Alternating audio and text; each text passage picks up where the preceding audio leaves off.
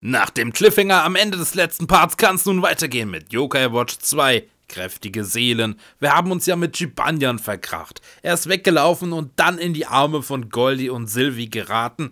Was mit ihm passiert ist, finden wir es heraus. Au, au, au, au. Was? Warum kann ich mich nicht vernünftig aufrichten? Ja, ja, miau. Ich dachte es mir fast. Was? Ich bin wieder eine Katze. Beim Namen Chibanyan, jetzt wieder, ist ein Fragezeichen. Sind wir jetzt überhaupt wieder Chibanyan? Er ist ja noch kein Yokai. Es wurde auch in der TV-Serie immer intensiver behandelt, das Thema. Finde ich gut. In Teil 1 wurde es nicht weiter beleuchtet, was da war mit dieser Amy. Aber okay, bin gespannt. Und das ist das Haus, in dem ich früher mit Amy gewohnt habe, oder? Bin ich in der Zeit zurückgereist? Was soll ich tun? Warte mal, ist Amy hier? Ich sehe mich mal um. Können wir jetzt nicht ernsthaft als katzen chibanyan spielen? Ach krass, ey. Irgendwie niedlich. Dieser Schreibtisch, es ist definitiv der gleiche. Das war Amys Lieblingsschreibtisch. Ich hatte ihn schon immer. Sie hatte ihn schon immer. Wow, das ist cool, das ist nice wird die Geschichte tatsächlich weitererzählt. Endlich, möchte man meinen. Elternschlafzimmer? Manchmal ist ein Ausrufzeichen da. Genau, das ist das Zimmer von Amys Eltern. Ich war nie wirklich hier drin. Es macht mich irgendwie nervös. Okay, gehen wir mal runter. Krasse Quest. Nein, du liegst falsch. Diese Stimme klingt wie die von Amy. Deine Noten sind lausig. Immer bist du bei deinen nichtsnutzigen Freunden. Nein, ich hatte Magenschmerzen und konnte ein paar Tage nicht zur Schule. Das ist wirklich enttäuschend. Tristin beseelt ihre Mutter. Und wir können das sehen als normale Katze. Interessant. Ich wusste nicht, dass ich dich zu einer Lügnerin erzogen habe. Ich lüge nicht. Warum hörst du mir nicht zu? Ach!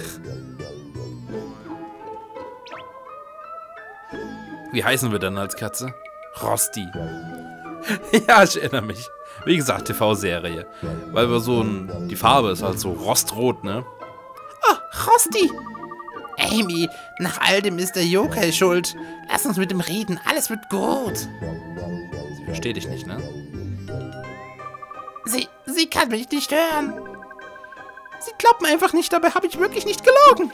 Mama kann so erbärmlich sein. Ich versuch's dir doch zu erklären. Es liegt im Einfluss des Yokai. Aber du kannst mich nie auch immer nicht, nicht hören. Ich bin so froh, dass ich wenigstens mit dir reden kann, Rosti. Amy. Aber hast du nicht.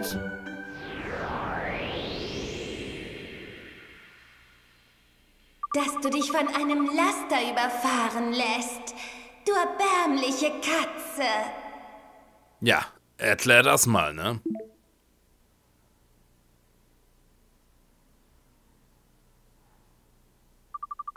Wie konnte die liebe Amy, die hier vor mir sitzt, so etwas über mich sagen? Dafür muss es einen Grund geben, aber vielleicht... Weißt du, was mir gut tun wird, Rosti? Frische Luft, komm! Vor allen Dingen würde ich die gerne in der Gegenwart treffen. Und mal so richtig die Meinung geigen. Es ist so schön in der Sonne. Ich liebe diesen Ort. Es fühlt sich an, als würde der Himmel nur mir gehören. Das will ich sehen. Wie man mit seiner Hauskatze einfach so rausgeht und sich dahin pflanzt und die Katze bleibt doch da sitzen. Ha, ha, ha. Die Entwickler haben Humor. Jawohl, das tut gut. Ach, Rosti, habe ich dir erzählt, dass ich Vorsitzende des Schülerrats bin? Wirklich? Das wusste ich noch gar nicht. Ich habe also eine Vorbildfunktion. Ich muss immer vernünftig sein. Aber das heißt auch, ich kann mit niemandem wirklich reden. Außer mit dir. Danke dafür. Aber ich habe eigentlich noch nie gefragt. Ist es eigentlich okay? Miau. Oh, das ist gut. Danke. Bitte versprich mir, dass du noch lange bei mir bleibst. Voll traurig. Jedes Kätzchen Kätzchen weiß, dass es auf sein liebevolles Frauchen aufpassen muss.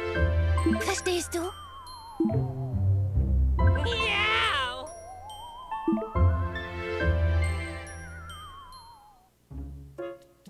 Am nächsten Tag.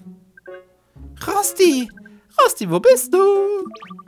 Amy, hast du mich gerufen? Äh, ich meine, miau. Warum nicht? Ja, ich bin Rosti. Also das Leben als Katze, da kann man sich echt gut gehen lassen. Na gut, das Essen ist nicht, nicht das Beste, aber vom Rest her ist es sehr chillig. Hey Rosti, willst du mit mir einkaufen gehen? Ich kauf dir auch was Schönes. Was denkst du? Äh, miau. Guter Junge. Toll, wir werden sehr schnell sein, also sei vorsichtig und fall nicht runter.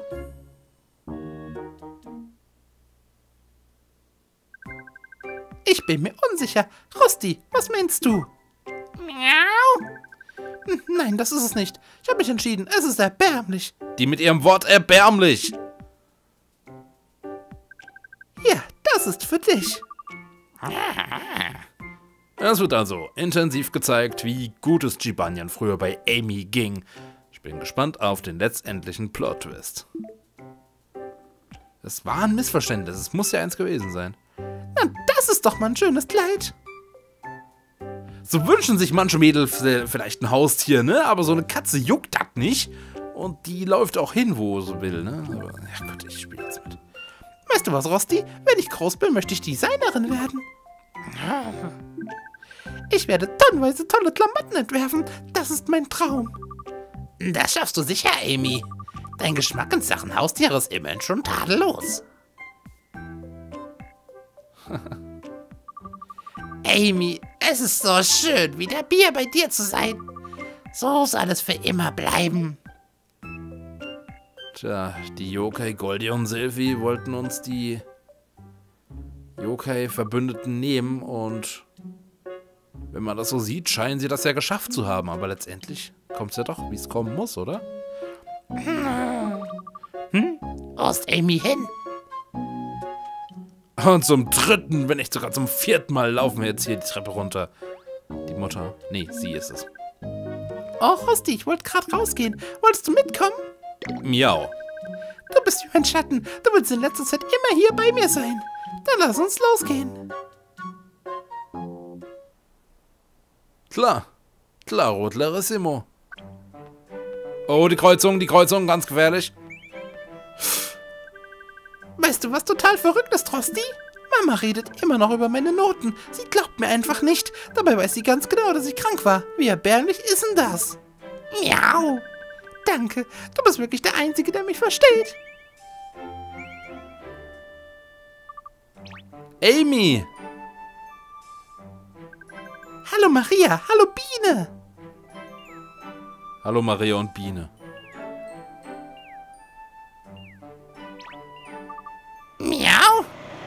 Beseelt auch noch. Ach ja. Ja, so war's. Ich erinnere mich wieder. Ich weiß wieder, warum ich von dem Lastwagen angefahren wurde. Nichts überstürzen, Kätzchen. Wer, wer spricht da? Jetzt verstehe ich's. Auch in der TV-Serie wurde einfach nur gezeigt, um was es ging. Und zwar hat Jibanyan halt sie weggeschubst und ist so selbst gegen den Laster geprallt, starb und wurde zum Yokai. Jetzt hat er wohl die Chance, das zu verändern, um so weiterzuleben wie bisher. Dein Leben nicht nur einmal, sondern zweimal für einen Menschen zu opfern.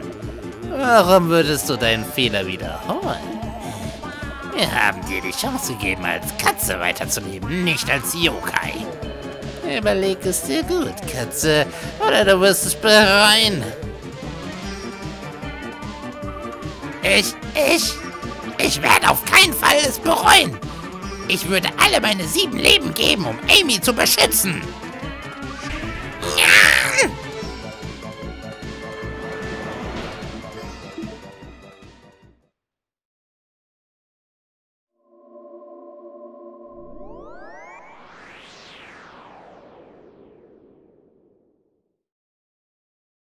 Dann will ich aber erklärt haben, warum sie das mit der erbärmlichen Katze sagt.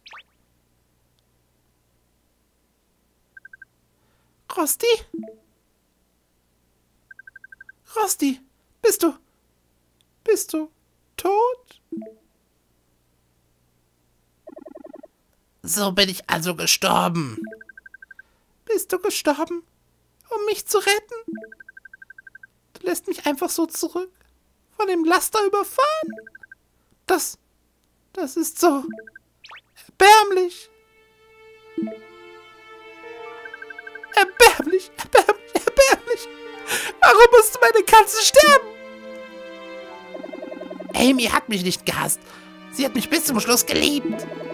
Ich war so lange böse auf sie. Ganz ohne Grund.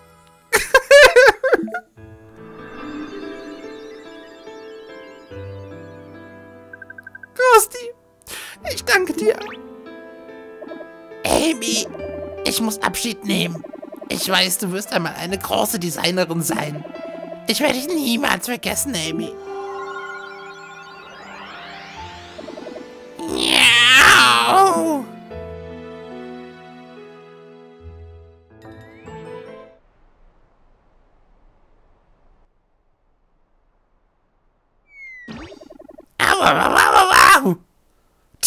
Nee, nee, nee, nee. Das lasse ich nicht gelten. Und zwar, ja, hat seine Richtigkeit und ich verstehe, wie die es in Japan damals gemeint haben. Aber dann kannst du es nicht übersetzen, dass sie sagt, du erbärmliche Katze. Du kannst sagen, dass sie sagt, wie erbärmlich war das denn? Oder wie erbärmlich ist das? Aber nicht du erbärmliche Katze. Was sie ja, haben wir auch in der Rückblende nicht vor allzu langer Zeit gesehen, gesagt hat. Aber nicht, äh, ähm. Nee, nee. Also da haben die deutschen Übersetzer in meinen Augen gefailt. Hätten sagen können, wie erbärmlich ist das? Und dann kommt raus, sie meinte sich selbst und nicht äh, ihn als Katze. Oder Karte halt. Eieiei. Und in Teil 1 sagte sie, du bist so ein Loser. Meinte sich selbst als Loser. Da passt es erbärmlich in der Tat besser, aber sie sollte nicht sagen, du erbärmliche Katze, sondern wie erbärmlich ist das denn? Das wäre der passende Satz gewesen, von Anfang an. Ja, gut, sowohl, sowohl in Teil 1 als auch in der TV-Serie war das denen anfangs nicht bewusst, wie die Story noch fortgesetzt wird. Dass sie sich selbst meint und nicht Jibanyan. Aber hm. was meint ihr dazu? Schreibt es in die Kommentare. Ist es vernünftig erklärt? Und hätte er lieber als Katze weiterleben sollen? Ach komm, bei uns wäre das auch nicht schlecht. Und als Joker ein bisschen rumzukämpfen und so, ist wahrscheinlich sogar spannender als so ein ruhiges Katzenleben. Chibanyan, da bist du ja. Was ist passiert? Du bist einfach so verschwunden. Es war eine seltsame Erfahrung. Aber ich bin froh, sie gemacht zu haben. Es scheint, als hätten wir es nicht geschafft, Yokai und Kind zu trennen. Wie erklären wir das nur unserer Anführerin? Ach, sie muss sich ja nicht mit unseren Katzengeschichten langweilen. Ah, stimmt. Dazu besteht überhaupt kein Grund. ah, die beiden Schabracken, ey. Jibanyan, es tut mir leid. Ich muss mich entschuldigen. Ich werde versuchen, eine bessere Katze zu sein. Zugegeben, ich bin einfach eingezogen, habe das ganze Haus vereinnahmt. Naja, es war nicht alles schlecht. Hoho, seht euch an, wie diese schöne Freundschaft wieder erblüht. Ich weiß was. Lass uns nach Hause gehen und einen Schokoriegel teilen. Gute Idee. Ähm, oh oh. Alle schon aufgegessen? Hä? Stimmt etwas nicht? Ähm, wegen der Schokoriegel.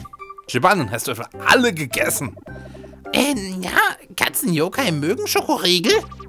Du bist ein Dieb, ein Schokodieb. Ich esse, was ich will, wann ich will und so viel ich will. Beef. Es sieht so aus, als hätte sich rein gar nichts verändert. Dann nenn es eine Hassliebe. Das war die Quest Chibanyans Geheimnis. Ich fand sehr schön gemacht. Perfekt. Perfekt. Hä, wir haben ja sogar noch ein Team. Lang nicht mehr gekämpft, ne? Schon ein paar Parts her. Ohne Scheiß. Glocke der Erinnerung.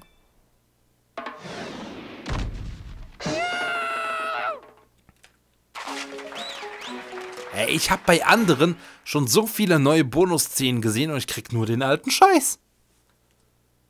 Es tut mir leid. Mach's gut, Engelchen. So. Hm. Dann können wir uns jetzt ja eigentlich um die anderen, äh... Oh Gott, es ist schon spät, weil... Ah... Moment, was haben wir? Die anderen Quests werden sich doch auch lösen lassen. Wisst ihr, was nicht geht? Der Typ bei rund um die Uhr. Das wird nicht funktionieren. Wenn dunkel ist, oder? Deswegen eile ich mal ganz schnell zu dem und höre mir an, was ich für Rang C machen muss. Das war ja auch eine der Schlüsselquests, bevor die Story weitergeht. Wie sie das unterteilt haben, finde ich eigentlich ganz nett. Ey, da müssen wir echt noch flugs hin. Bevor alles wieder dunkel wird und wir nichts machen. Ja gut, wir können uns ins Bett legen, schlafen und die Sache hat sich aber. Aber ja, ich gebe trotzdem mein Bestes vorher. Rund um die Uhr. Hallo. Ah, da bist du. Ich habe mir gedacht, dass du bald wiederkommst. Gut, du musst den Test bestehen, damit ich deine Uhr nochmal aufrüste. Oh, Sie können meine Yokai Watch noch stärker machen? Oh ja, deine Watch hat noch großes Potenzial. Also bist du interessiert? Ach, natürlich, ey. Ach nee, Rang B geht's ja schon. Ha. Aber du musst drei starke Yokai besiegen, so wie letztes Mal. Wenn du das schaffst, rüste ich zur Belohnung deine Yokai-Watch auf. Hört sich gut an, ich bin dabei. Gute Antwort. Also gut. Hier sind die drei Yokai, die du besiegen musst. Oh, vorher noch eine Frage. Kennst du Stadenstedt? Ja, da war ich schon. Gut, dort findest du die Yokai, die du besiegen musst. Zuerst Lungerhai, den du in der verborgenen Werkstatt findest. Dann findest du Veteran und Wimwendig in der Strandhöhle. Ich muss sagen, sie sind ziemlich stark, aber wenn du sie besiegst, rüste ich gerne deine Yokai-Watch auf. Du wirst es mehr als verdient haben. Hört sich an, als müssten wir uns ranhalten, Let's Play Markus. Passt, Joe. Okay, ähm... Ich darf dich jetzt auch wieder benutzen, das ist schön. Und wir gehen erstmal zum Waldberg. Aus mehreren Gründen. Wir haben die Quest angenommen, das ist schön und gut. Aber wir haben noch die folgenden Quests. Und zwar die Sachen von unserem Vater. Da sollen wir uns eigentlich voll beeilen. Der hat die im Zug liegen lassen. Lol. Ich lasse mir damit Zeit ohne Ende. Dann die Watchschrank und das mit Shibanyan haben wir gelöst. So, und als ähm, optionale Quest habe ich das... Da steht... Ne, das ist ein alter Mann, der hat damit auch wieder nichts zu tun. Habe ich noch was angenommen mit den Kindern, die wollten irgendeinen Quatsch am Waldberg. So. Ich will auch an den Waldberg, aber zum heiligen Baum, um den Yokai Maten zu benutzen. Vier Münzen dürfen wir erhalten oder einsetzen und das mache ich doch mal instant. Mal sehen, was dabei herauskommt. Manchmal Items, meistens sind Nieten. Es kommen auch mal Yokai bei raus und mit viel Glück sogar ein geiler S-Rang-Yokai. Da ist nur ein Pflaumenreisball drin. Ist okay. Dann kann ich immer Glück haben. So, ich nehme erstmal die, die doppelt sind. Eine rosa Münze. Oder sagen wir eine pinke Münze? Trotzdem, ihr könnt pro Tag nur vier Münzen einsetzen. Oh, Schnuckiwatz. Der muss... Der ist gar nicht schlecht. Es gibt doch Knuffi-Wuffi und ich glaube, das ist eine Art Weiterentwicklung. Dieses Gefühl hat uns das Schicksal zusammengeführt. Vielleicht... Schnuckiwatz. Aber ein S-Rang kann es nicht sein, oder? Kann ich mir nicht vorstellen. Wir gucken gleich mal. Ich freue mich auf jeden Fall, wenn ich Yokai bekomme durch den Yokai-Maten. Harte Angelegenheit. Ne, da gucke ich mal sofort. Andererseits können wir noch zwei Münzen reinschmeißen und bekommen dafür vielleicht auch Yokai. Also, let's go. Gelbe Münze. Aha. Was dann wirklich wie eine Goldmünze aussieht, im klassischen Sinne. Heilige Klugel. Oh, ey, die gibt viele Erfahrungspunkte, ne? Ach du Schande. Heilige, das sind die höchste. Und das war's auch schon. Der Yokai-Mat ist verschwunden. Er erscheint täglich um 6 Uhr früh, abhängig von deiner Systemuhr. Ihr müsst ja berücksichtigen, wenn ich Yokai Watch aufnehme, nehme ich nicht nur ein Part auf, sondern vielleicht drei, vier, fünf, vielleicht sogar sechs. Maximal. Ähm, aber ich kann nur jedes Mal einmal, ne? So, handhabe ich das? 20.000 Erfahrungspunkte. Der hier gibt nur 2.000. Was zum Teufel? Moment. Bevor ich die Klugeln verfüttere, will ich gucken, was das für ein Rang war. Rang A in der Tat. Das ist gar nicht schlecht. Gegner freunden sich seltener mit dir an. Unbeliebtheit ist dein Talent. Oh, da will ich den eigentlich nicht im Team haben. Hatte ich jetzt auch nicht geplant, ne? Das am Rande. Prügel, Sense, Betrug, heilt die Herzen und LP von Freunden, wenn er was Süßes macht. Wenn er etwas Süßes macht. Also sein Ultiseel ist Heilung. Betrug. Ich würde jetzt mal auf Nein gehen. Ich denke auch nicht, dass es sich noch entwickelt. Wir haben ja Casanovo ebenfalls. Das ist ja so ein Heiler. Es war keine schlechte Sache dieser Yokai, aber nope, einfach nur nein. Das ist unser Team. Casanova hat es am meisten verdient, möchte man sagen.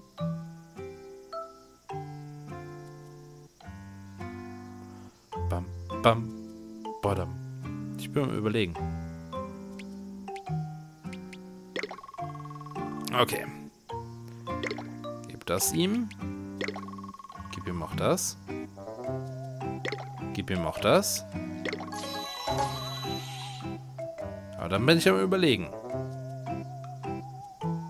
Sie ist jetzt ein Dino. Eins berührte eine winzige Echse diese Kugel. Eigentlich ist eine Klugel, aber in der Beschreibung steht Kugel. Aha. Sie ist jetzt ein Dino, die winzige Echse. So. Den niedrigsten Level haben Casanovo und Schattenato. Ich werde aber Casanovo das nicht geben. Schattenato hat die besten Karten.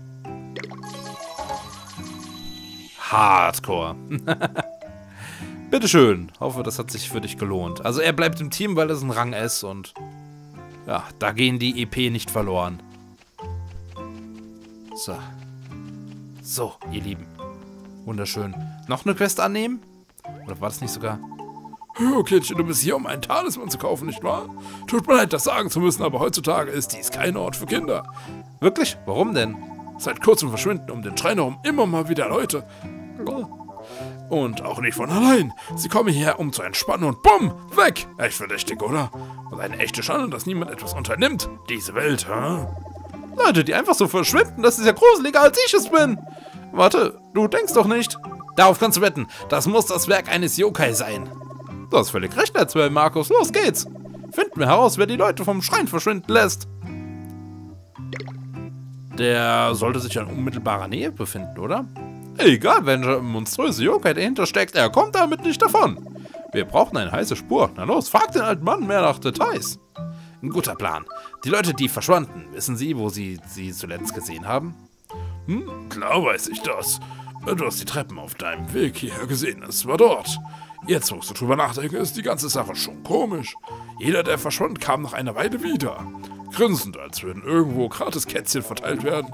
Keiner von ihnen konnte sich jedoch erinnern, wo sie gewesen sind. Hm, das ist echt komisch.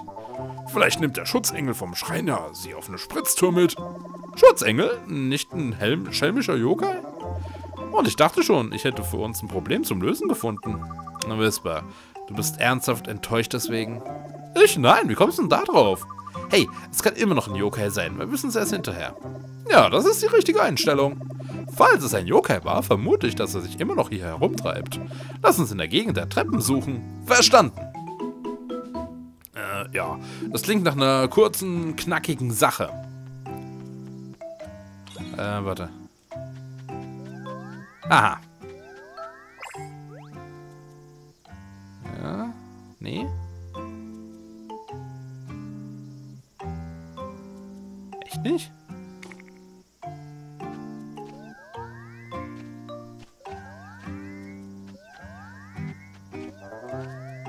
Ach, Moment. Hier ist ja sehr schwach. Ich depp. Aha. Ein Portalex. du bist schuld? Warum? Okay. Können wir dich in Zukunft auch benutzen? Das wäre geil. Wobei, der andere ist ziemlich nah. Ha, ich wusste es. Du bist derjenige, der die Leute verschwinden lässt, oder? wäre mir da nicht so sicher. Hä? Das ist nur ein Portalex. Falscher Alarm, tut mir leid. Nee, für wen hast denn du mich denn gehalten? Niemand Spezielles, aber weißt du, hier geschehen zurzeit seltsame Dinge. Hey, warte mal kurz. Oh, hast du das Rätsel gelöst? Vielleicht, überleg doch mal. Portalex kann Leute teleportieren, richtig? Geister noch eins, du hast recht. Natürlich kann ich das. Soll ich euch etwa auch teleportieren? Los geht's! Ah, wohin hat er uns gebracht? Ah! Warte, was auch immer hier gerade geschieht, passiert gegen meinen Willen. Ich nehme es für einen Anwalt zum Protokoll. Ah. Das ist wieder so eine Zeit mit dem Fest, ne? Ja, scheint das sein. Wir diesmal diejenigen, die verschwunden sind. Ja, darauf war ich nicht vorbereitet. Dafür wissen wir jetzt, was es mit dem dubiosen Verschwinden auf sich hat. Das ist Portalex schuld. Meine Schuld? Nein, nein, ich habe sie nur auf Wunsch hierher gebracht. Ja, was meinst du, dass du nur Handlanger eines geheimen Drahtziehers bist? Warte mal kurz, sind wir nicht immer noch im gleichen Ort? Huch, aber nur das Licht ist plötzlich anders. Das ist komisch, oder? Oh, diese Dekoration. Es ist ein Festival im Freien. Gut beobachtet, Let's Play, Markus. Das ist hier gar nicht der Schrein am Waldberg. Ich wette, wir sind am Lager der wahren Übeltäter. Lass sie uns suchen. In Ordnung, dann mal los. Viel Spaß beim Festival. Ist doch schön, dass er das macht und so. Okay, okay. Viele Quests haben wir zurzeit aufgetragen bekommen. Ah, ein starker Joker ist in der Nähe. Sowas habe ich noch nie gespürt. Es ist nicht Portalex, so viel kann ich mit Sicherheit sagen. Es ist... Es kann nur der Drahtzieher sein, der die Leute entführt. Ich bin mir sicher. Lass mich die Gegend mit der Yokai Watch absuchen. Krass, Mann. Okay, an dieser Stelle werden wir uns im nächsten Part wiedersehen. Okay, ist der Daumen oben? Werd ich euch loben. Verpasst das nicht. Bis zum nächsten Mal. Bis dann und ciao.